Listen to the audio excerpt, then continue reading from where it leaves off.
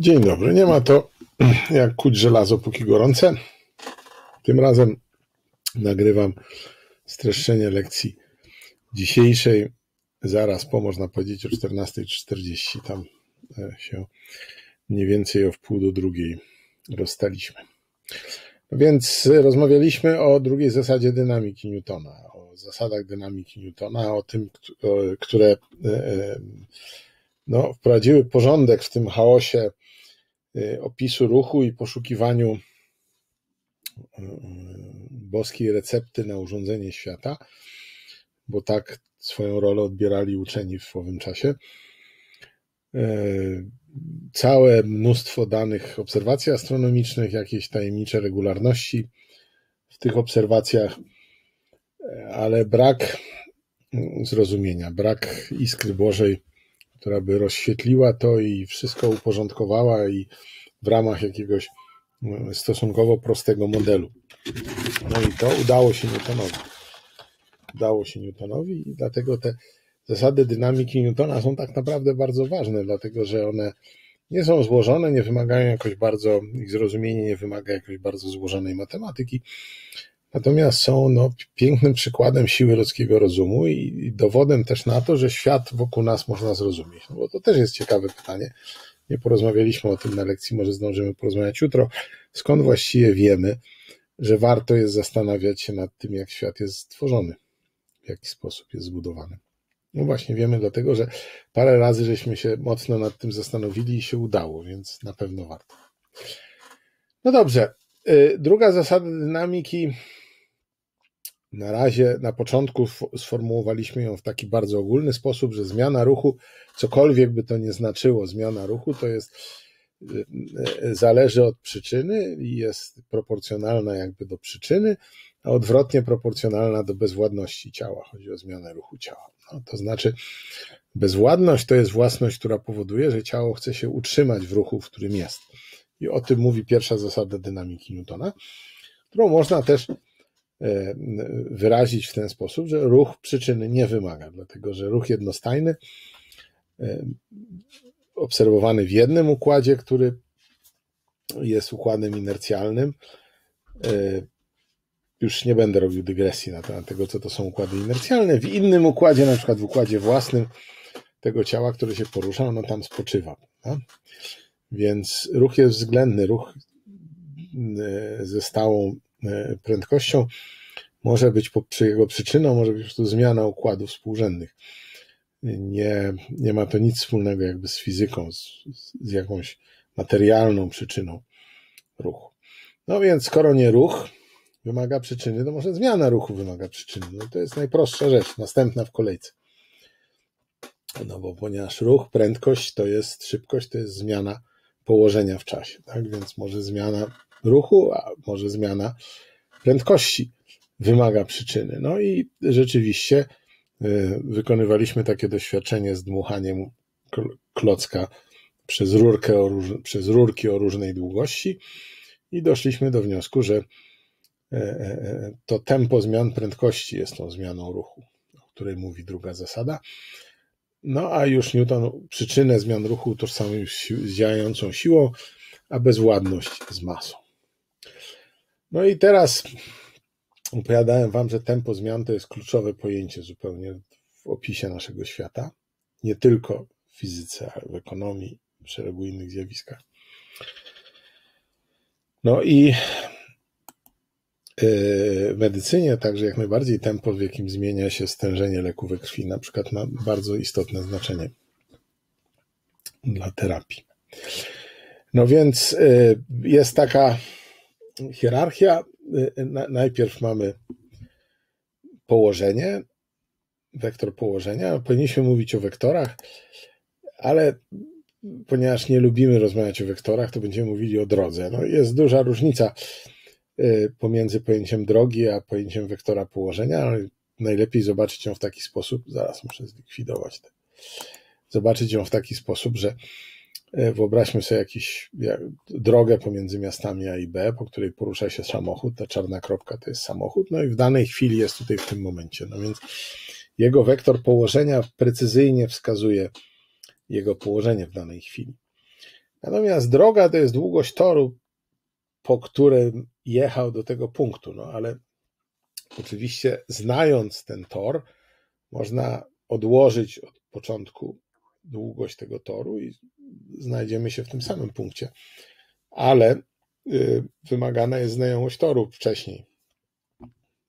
No, no, gdyby była tu możliwa jeszcze jakaś druga droga, to nie, wiedzieli, nie, nie, nie, nie moglibyśmy, roz, znając tylko długość i nie wiedząc, po której drodze pojechał, nie moglibyśmy wskazać jednoznacznie jego położenia.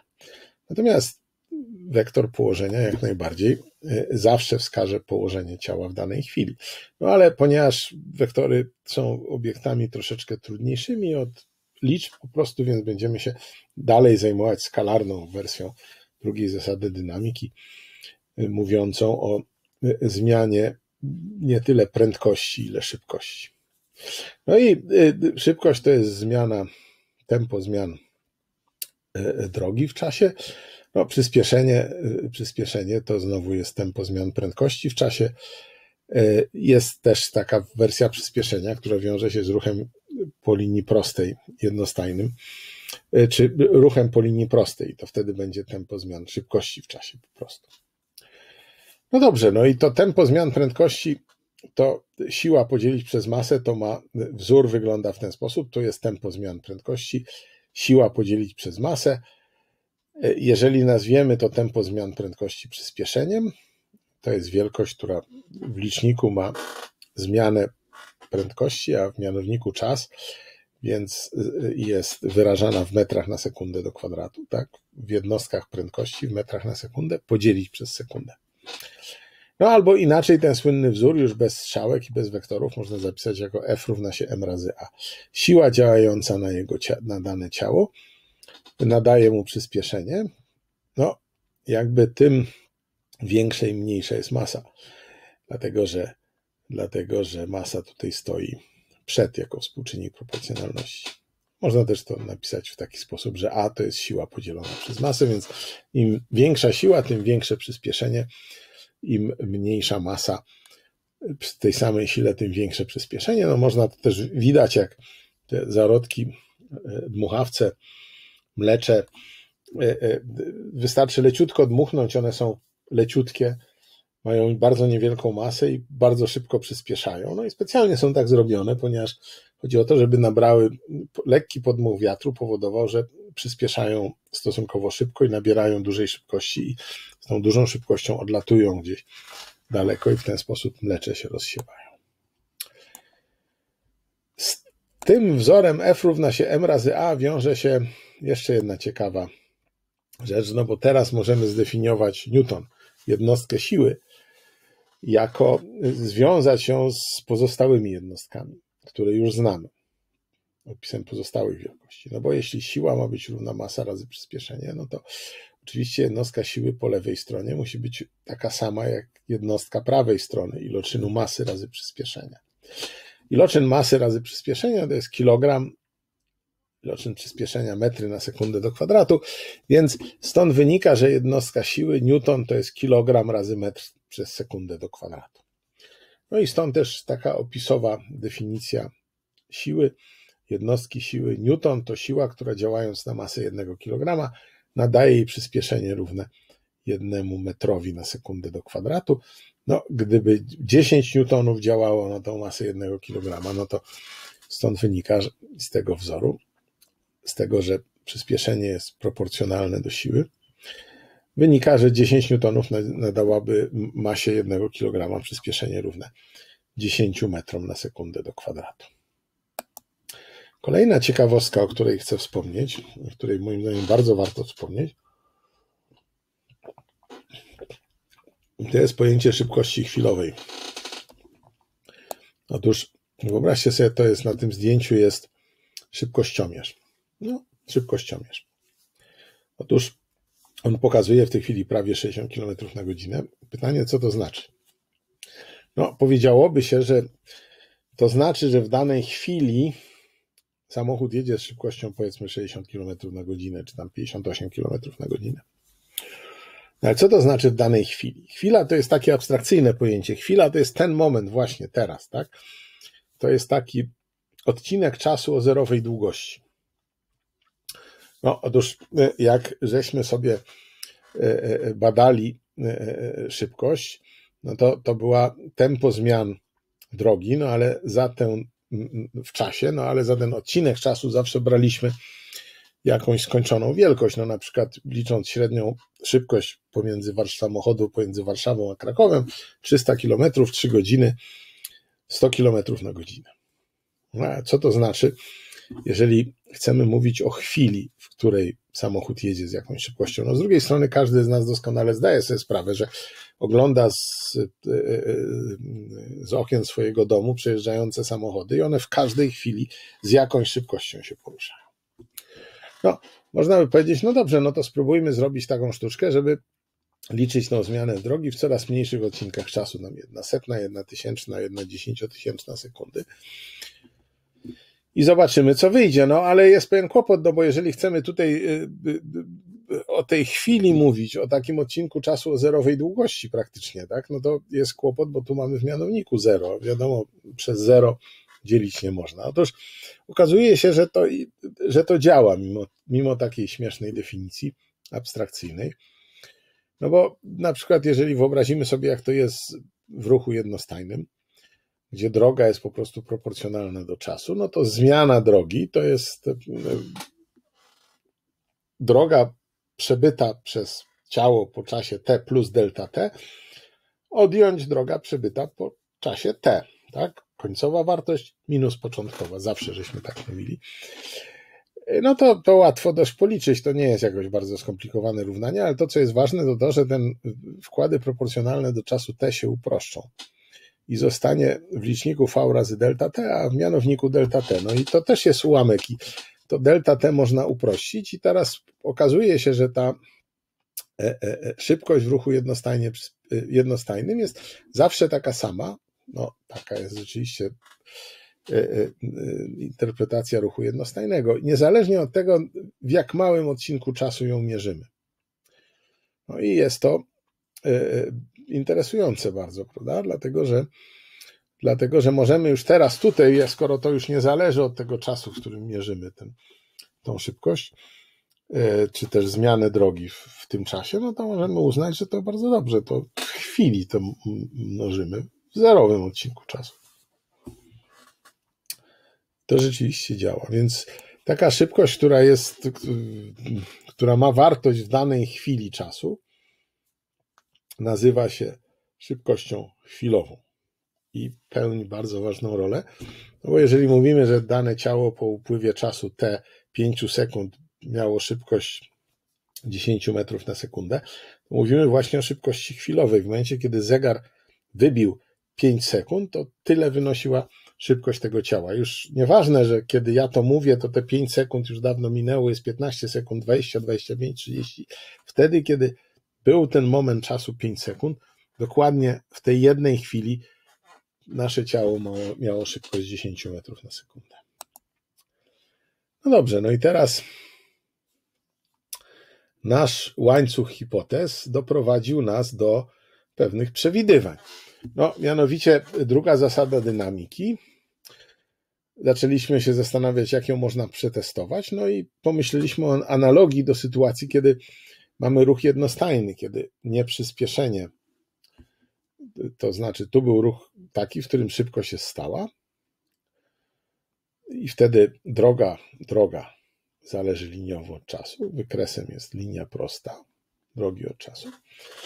A możemy sobie pomyśleć o e, już sytuacji, w której nie szybkość jest stała, ale przyspieszenie jest stałe. No, kolejny taki najprostszy krok. Zobaczyć, co będzie, jeśli przyspieszenie będzie stałe.